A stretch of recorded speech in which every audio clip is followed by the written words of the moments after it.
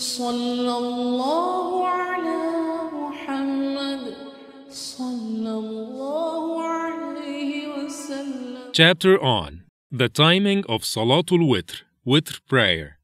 Abu Huraira said, The Prophet, peace be upon him, told me to offer Witr prayer before sleeping.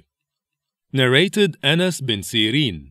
I asked Ibn Umar, may Allah be pleased with them, what is your opinion about the two rak'ah before the Fajr prayer, as to prolong the recitation in them? He said, The Prophet, peace be upon him, used to offer at night two rak'ah, followed by two, and so on, and end the salat, prayer, by one rak'ah witr. He used to offer two rak'ah before the Fajr prayer immediately after the adhan. Hamad, the sub-narrator, said, That meant that he offered salat quickly. Narrated Aisha, may Allah be pleased with her.